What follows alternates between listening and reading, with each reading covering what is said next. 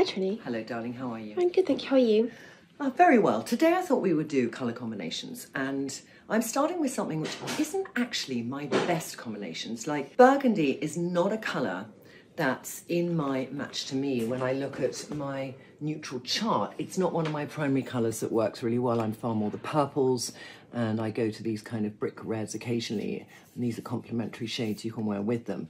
But I like wearing burgundy. Burgundy is more in a sort of neutral cool. So I think to myself, how can I wear it and then take one of the shades closest at my neck to me and bring that colour to life a bit Okay. more. I do suggest you go to Trinny London.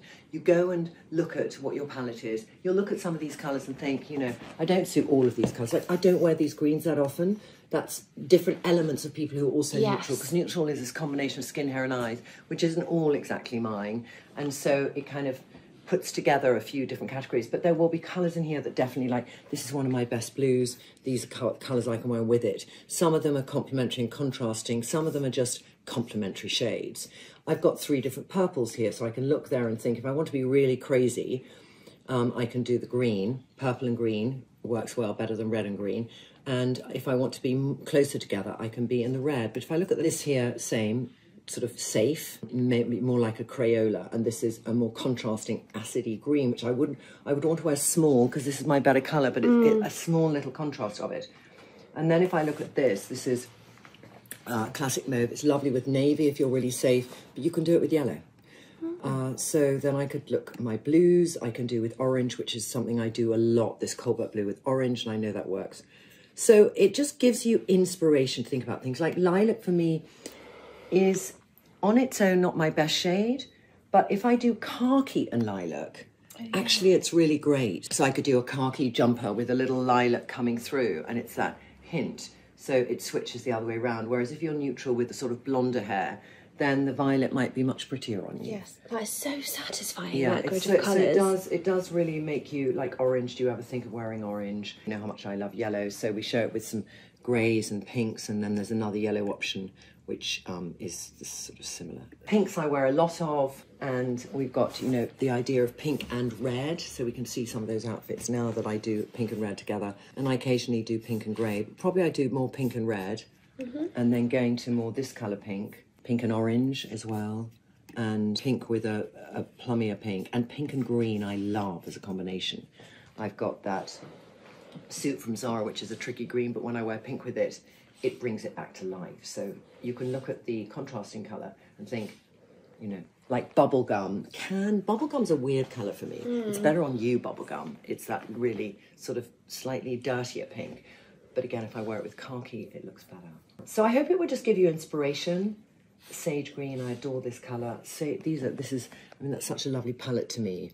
You can wear with a soft washed out khaki, the sort of juniper green, and then this quite cool pink, which on its own would be tricky for me to wear, but with that, it brings it together. Yeah, and it gives you inspiration from your wardrobe. You think, oh, I have got that colour. Yeah. Let me try it. So let's see some inspiration now of when I've done colour contrast together. My daily habit is colour blocking. It's finding new colours in the wardrobe and thinking what goes with what. And it's a great opportunity for you to play with your wardrobe and find totally new outfits. The more the colours are sort of lively together and the same tonality in terms of dirtiness, brightness or mutedness, you know, those kind of three combinations that you can get of colours, the better. But sometimes you break the rules. The perfect pairing for an acid yellow, you would imagine to be a sort of acid pink, which it would be. This pink, which is not, it's a little dirty as a pink, somehow works. It could just be that I have an obsession with neon, and I really hope the high street builds up on that obsession. And it's fun. It's fun, exactly. And this is colour blocking is exactly that, Jemima. It's about fun. You know when you have to really match? Cordy is the colour of my suit. Lip glow. So I just put that on my lips. Oh, Oh, here's another one, and this is one I haven't done. Green and purple can be exquisite together.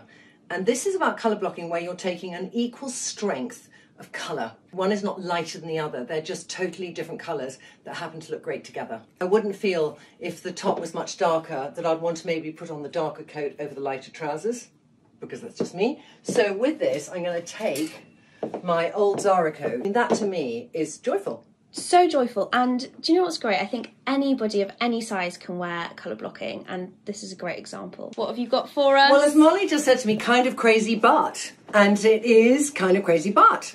it works. It so works. And sometimes when you're doing colour blocking, if you can find pattern bags, and I find so many pattern bags, this one is Prada, I have found countless from Zara and different stores and Monsoon, and just you never know what they're going to go with. And then suddenly, the more patterned it is, the better they work for colour blocking because it's where the colours come together.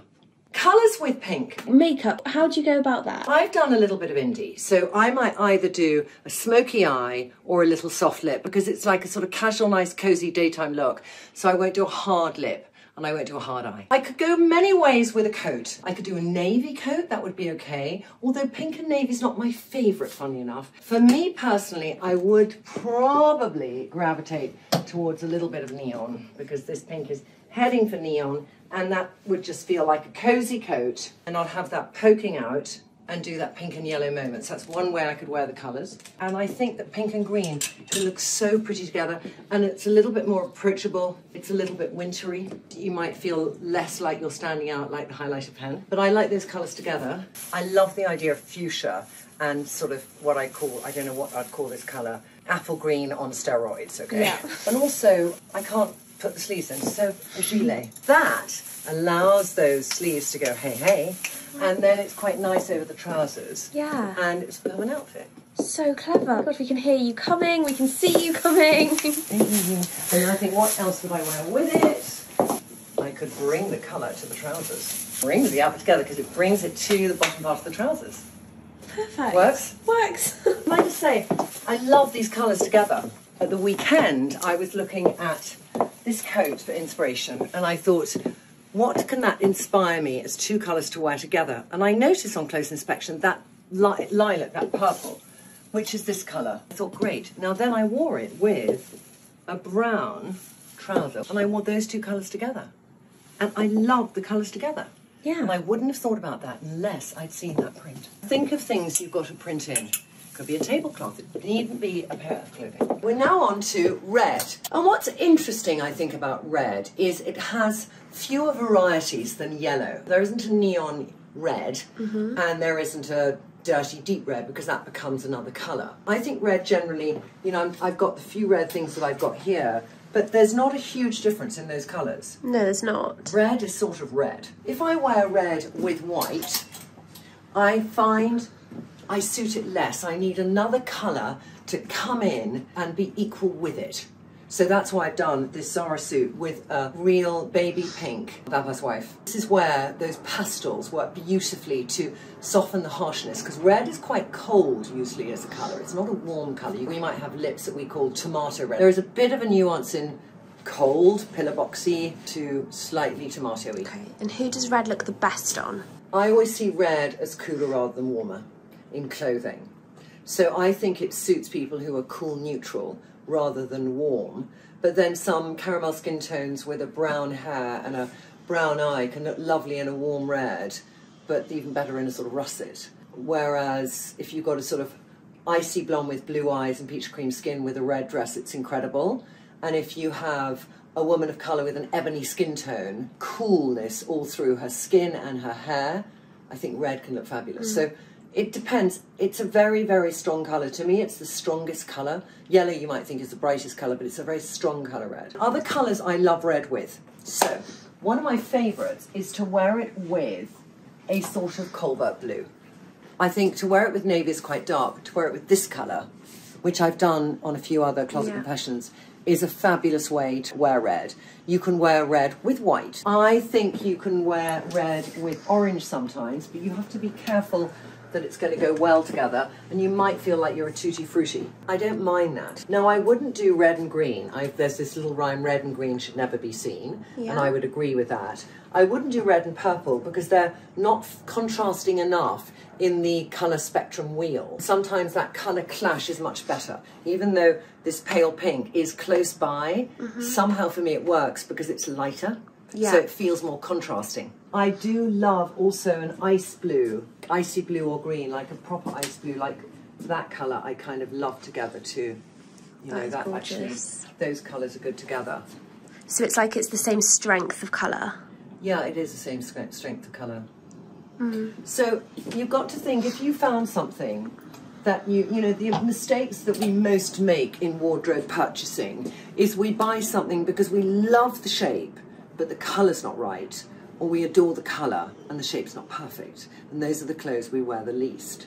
So it's a question of if you have things where the shape is gorgeous, think what are your favourite colours? Or is the shade of that colour wrong? Could you dye it? Is it a cotton or is it a polyester or is it some kind of fabric you could dye?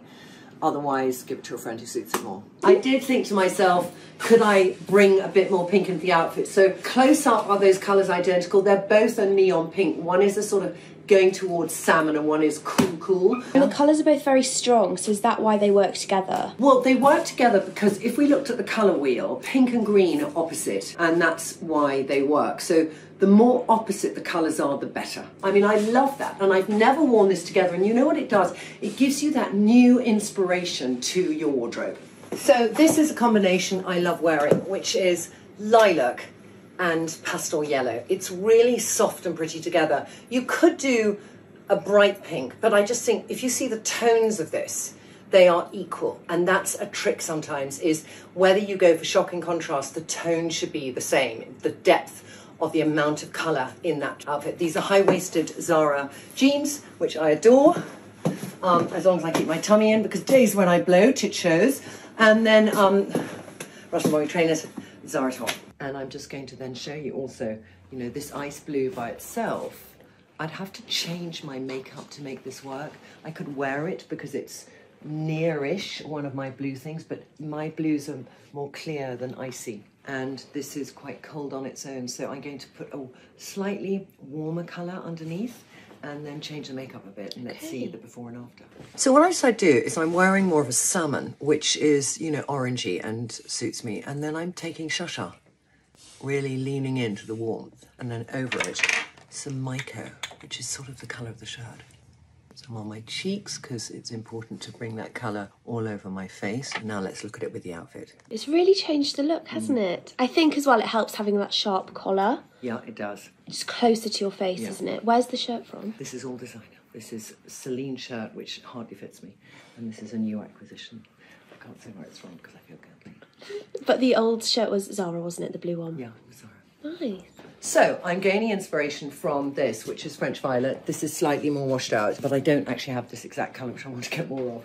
But looking at what I can do it with and the idea of khaki with this, if this was a little bit stronger, it would be great because this is a tiny bit pale over this. But again, what's interesting here is this is a little bit cooler, and that's sort of neutral. Yeah. And makeup has become quite warm. So I It now need to change the makeup to bring it all together. A little bit of Lovers, and Lovers has that brownie warmth to it, which I want to introduce to the eye area. Put the tiniest bit on. I'm going to really just wash it out. But it's slightly neutral cool, like that. That's got cooler. Then I'm going to take some Joy, very pretty, soft, pinky shade, which I always love anyway with khaki. I could introduce even some Chalice, which is this lilac-y colour. Char- Chalice and Lovers together is really pretty. There. And now it's about the coolness or the neutralness of the lip and cheek. So I think I might do a little bit of Freya. Freya is a lip glow in this plummy colour, which reads on the lip more of a berry. And then I'm going to take that to my cheek. And now let's look at it in that light. So it's just got a neutralness to it instead of being too warm. It's definitely a cool colour that's neutral. So to wear a very warm shade when I've got a very cool colour on is always a clash to me. And there are some people who are going to find if they're extremely warm or extremely cool, they really need to stay in those families. When you're in neutral, you can dabble in both, but you just sometimes you can go cooler in a shade or warmer in a shade, but the makeup has to bring it back somewhere. Yeah. The makeup has really transformed it though. It looked so warm before and now it looks really good. And does it look like I'm wearing the colour now? Because before I felt the colours were slightly draining me. It does. And I think the lip was fighting last time, Yeah. but yeah, not draining at all. Yeah. So have a play, and when we're thinking about colour, it's got to be a mixture of the colours that you're drawn to. I definitely love pinks, and I love blues, and I love purples. Khakis, I'm building a new relationship with. Black is definitely my colour. Navy is my black. and then expand on them and just see the inspiration you can get. Some of the colours are going to be really extreme for you, and you might think, whoa, no way. But there's some complementary hues which will just give you that template of thinking, okay, have I got something similar to that? Let me just test that clash of colour. And what we're doing with the colour wheel is we're going either diametrically opposite, or we're triangulating, or we're going side by side. But we're never going here mm. when we're here. That's mm-hmm. that's the sort of my balance. Thanks, Okay. Trinny. I'm going to go right. fill out my match to me now. Fantastic, darling. Have fun. Have a play this weekend. Bye. Bye.